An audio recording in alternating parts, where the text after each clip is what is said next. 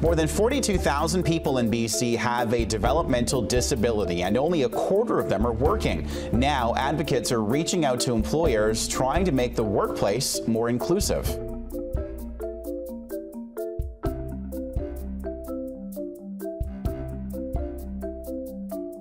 I'm very honored to be part of it. It's a very special campaign.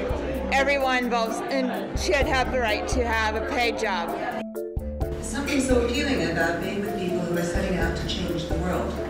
And I see no reason why Canada can't actually be the best.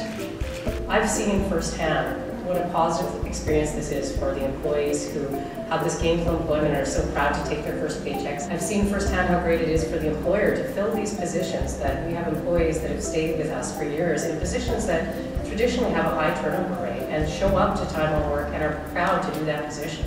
Business leaders, employers, agencies, and organizations like Inclusion BC all working together because no one government or organization can solve this challenge.